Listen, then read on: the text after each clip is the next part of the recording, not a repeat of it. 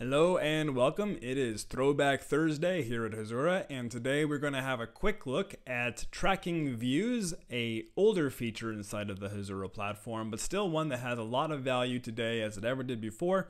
And I'm going to explain just a little bit about what that is, when you might want to use that, and how to create it. So let's have a look at my data model that I've added here. I have a simple database, a very contrived example, and it is comprised of a single table called users, technically two tables, one I've identified as an enumerable. And inside of this all users uh, table here, I have a whole bunch of uh, mock data where the role differentiates based on owner or user. Now in this contrived example, I want to say that I want to expose a top level field on my, my root query that is just owners or just users without having to go through all the effort of setting up my filters inside of my query every single time.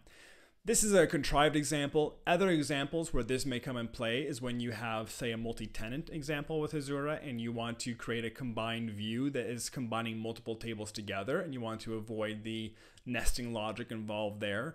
Or you have a, a very large, maybe a wide column data source and you're wanting to expose just a couple of pieces of that column and create essentially a, essentially a pre-filtered query, if you will, as your base to be querying from. There's a number of use cases where this would come up, but in our case, we're going to go ahead and say that we have a generic all users table, but what we really want to do is expose just an owners or a users uh, root field.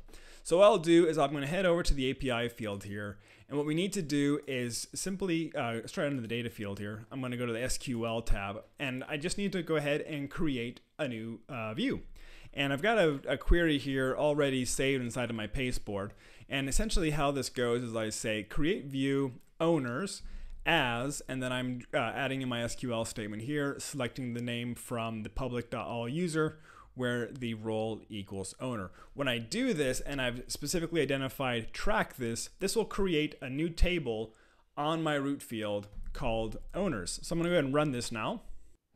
And we'll see now that I have a new top level field. So if I go to my API to explore this, I can expose this as simply the owner's table where I'll look for the name here, which is the only column that I've added to this view. And I'll be able to get just the owners of my, my users table. And given Hasura's ability to have fine-tune uh, access controls and permissions, we could actually go ahead and say on a, just a table level of access that just this table is all that I want to have exposed. And that's already a really powerful feature. Continuing along with this contrived example, I'm going to go ahead and make a subscription on that owner's table. And in this case, what I've done is I've made uh, a alphabetical sorting on just the name. It is my only column that I have available, and I've limited it to just the first 10 entries that it finds. Off like off the camera here, I'm going to go ahead and insert a mutation into my all users table.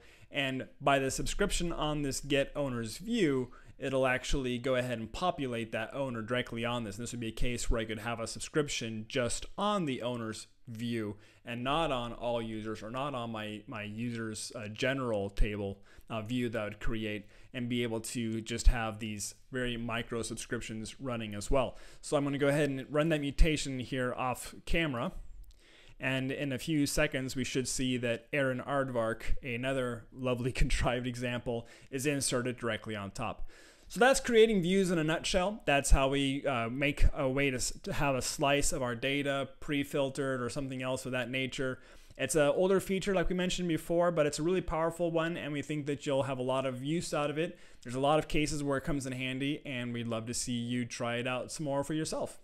We'll see you on next Thursday with another throwback feature.